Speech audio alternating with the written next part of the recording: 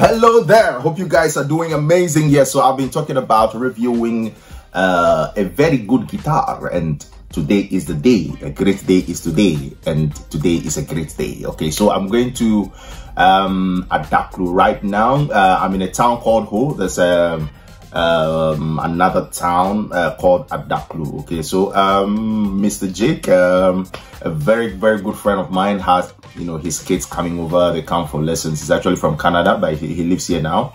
And um, you know, we got talking. They traveled to Mexico. They had to pass through Canada, and I was like, "Can you please get me a guitar?" And he said, "Yes." So I am really, really happy right now because the guitar is in. Okay, so uh, I wanted to get this Yamaha because I needed an acoustic electric that uh, could fight feedback. Uh, but uh, it, it, was a bit too pricey and uh, since I also needed a bluegrass guitar because I'm playing that style too uh, quite often these days um, I went with that so um, I'm just going to take you to Adaklu right now I'm going to enter a taxi and then uh, take you to Adaklu, the other town. Um, he's actually living under a mountain. So you're going to see that shortly.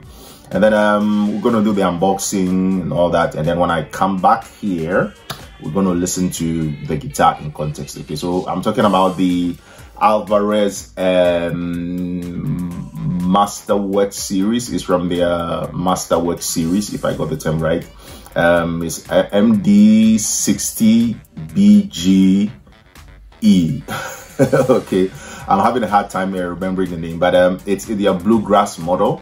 It's a dreadnought um, with a, a, a, spruce top and mahogany back inside. So uh, let's go grab it, uh, come back and uh, hear the guitar. Okay, um, I'm recording right now with my iPhone XR, um, and um, I think anything from the iPhone 12 Pro app um, would give you a very good representation of the sound. I don't have the microphones, uh, but you can look in the description. I have a link where you can check for yourself.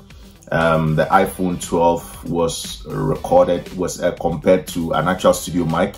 Uh, the comparison was like incredibly close. In some ways, even sounded better with the iPhone, okay, giving you a very good sound. You can hear the highs, the lows, everything you want. And most of you actually record with your phones anyway, so um, getting a microphone is, is pretty hard here in Ghana. A good um, microphone for guitars. So this is the best I got, and um, I think it's to do a good job. So enough talking already. Let's jump into the taxi and go to Adaklu.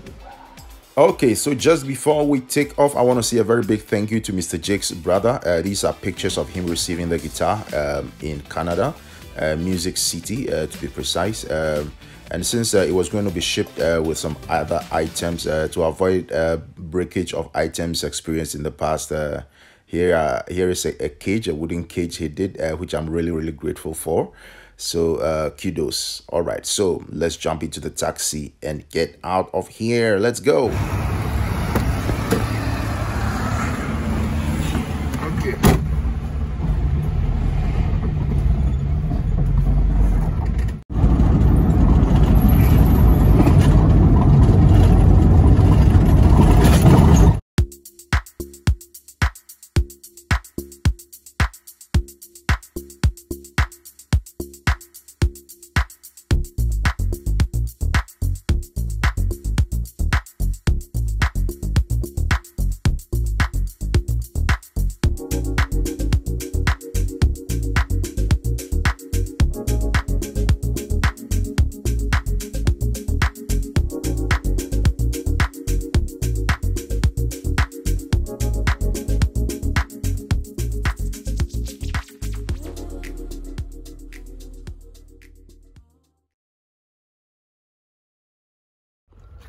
So I'm here and I'm really, really excited.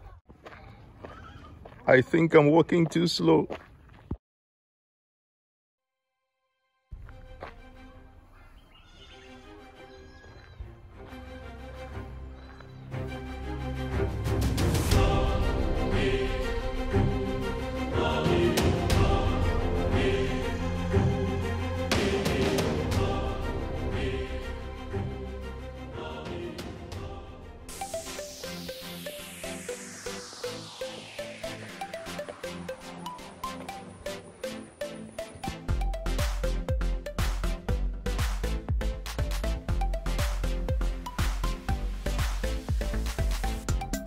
All right, so let's go.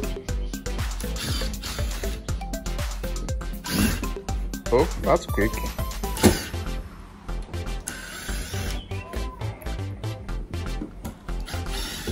You did a good job protecting it, I think. Yeah.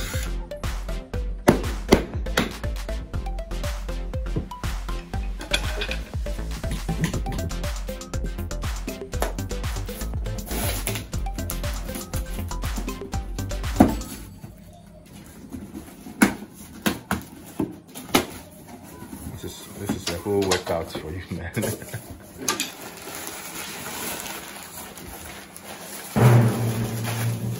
okay. Wow, Why not? You need to protect this thing. Okay. Yeah.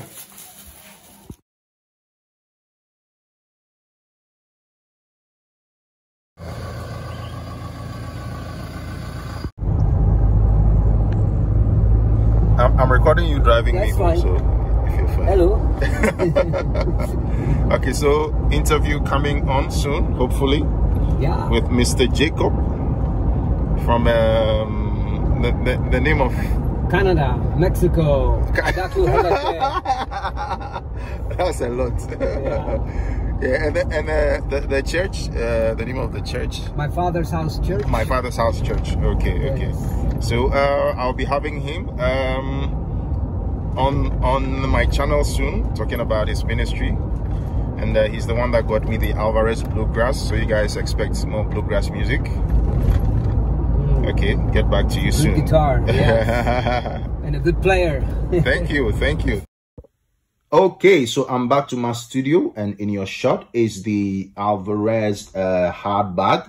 Uh, it's not really a hard shell case, uh, neither is it a gig bag. So it's but it's pretty sturdy, and it's gonna protect your guitar pretty well. Okay, so that's a wonderful, beautiful addition from Alvarez. All right, so let's see what we got inside it. Oh. Hoo, hoo, hoo. You know, that's what I'm talking about, man. So let's begin from the headstock and work our way down. You can see it's got a very beautiful headstock, uh, finished in gloss, says Alvarez. Okay, so um, yes, so it's got a bone nut, and um, yes, I think it's uh, an inch and three quarter. Uh, some might prefer an inch and 11 16th, but this is cool for me. Um, the fretboard, um, I'm not sure. Uh, I think it's rosewood. Okay, although it's a bit dark, so it looks like um, ebony. Okay, it's got that inlay um, at the 12th fret. Beautiful inlay. And the, the grains on this guitar, it's, it's really beautiful. It's got a herringbone trim with ivory binding. Yeah, so um, let's go back down. Okay, and uh, it's got a very interesting uh, bridge because there's um, it's not just for looks, uh, but there is um, some mechanics uh, behind this. Uh, so the steeper angle that the bridge provides um, gives some downward pressure um, to the strings, uh, so that causes the top to vibrate better. That's a clever um, invention by Alvarez. So the the uh, saddle is bone and the bridge pins are ebony. So um, all the good stuff here. Okay, so there you have the back. Very beautiful uh, open gear tuners, which keep the guitar in tune pretty well. Uh, it's got the Alvarez inscription there. Um, the neck is mahogany, and so is the back and sides. Beautiful grain mahogany there. Yeah. Okay, so I look at the model name again through the sound hole. Uh, for those of you keeping tabs, um, I hope you can see this if the camera will focus. All right, we got it. So it's a MD60 EBG. Um, I'm not sure what the MD stands for, uh, but the 60 means the back end size is mahogany. The E means it's got a pickup. The BG is bluegrass. Okay, so, and indeed it has a pickup. I hope you can see that. Um, an LR Baggs pickup. Okay, really cool. Okay, so it's got this tag here. Um, yeah, that says uh, LR Baggs for acoustic. Yes. Okay, so like I said, it's from the Masterwork series. All right, let's hear this guitar in action. Yes, iPhones have good microphones, uh, but they work very differently from studio mic. So I'm going to be moving um, different distances and also play during the day and also during the night because I get different sounds. Here we go.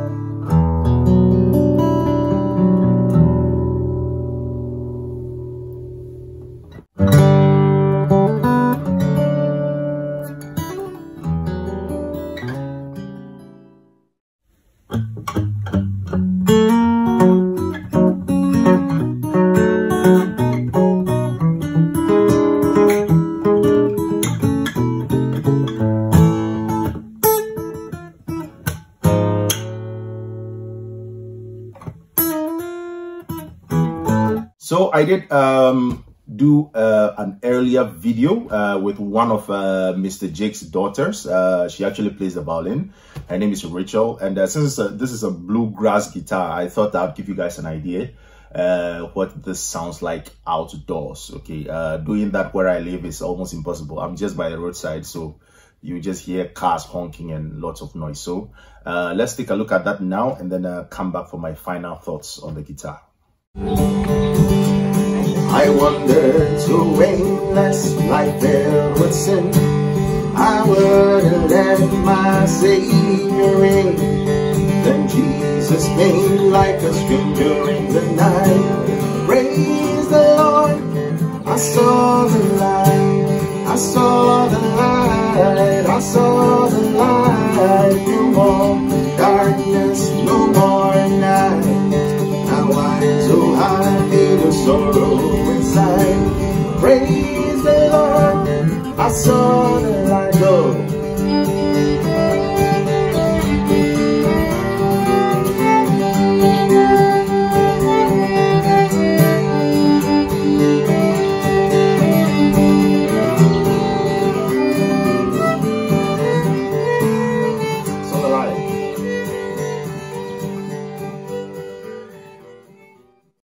So I don't think I need to say much uh, on my final thoughts. Uh, if you are a bluegrass player uh, wanting to get a, a, workhorse guitar on a budget, I mean, you can't go wrong with this. I mean, yeah, so um, other options could be like the Eastmans, uh, the Eastman E20 and the E10.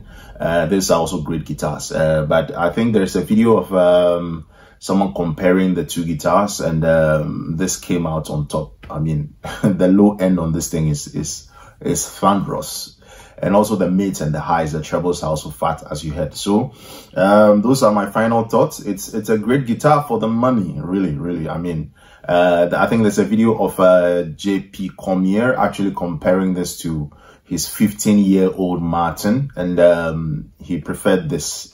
so, I mean, it's it has all the good stuff, bone nut, bone saddle, it's got a spruce top. It's got a ma mahogany back and sides. Um, you can have everything in one guitar. Some people might prefer uh, an inch and 11 16th nut. This is one and three quarter, and it's it's a bit roomy, but it's uh, it's it's good for my my way of playing. Okay, so you might want to try the guitar out before you draw any conclusions. Um, yeah, so um, not much to say, it's, except that it's it's I couldn't find any um, any cons really. Um, one con if I if I need to add any anything negative in this video, um, um, the um, the uh, end of the frets are not are, are not like uh, really sharp like some of the very cheap guitars. Uh, but some people might still want to um, polish the ends of the frets a little bit. Uh, for me, it's okay. And uh, honestly, I would I would prefer to let my hands warm the wear the guitar in is that the word. I, I would like to let my hands wear the guitar in from uh, years of playing rather than doing it uh, like polishing the um, dressing the ends of the frets.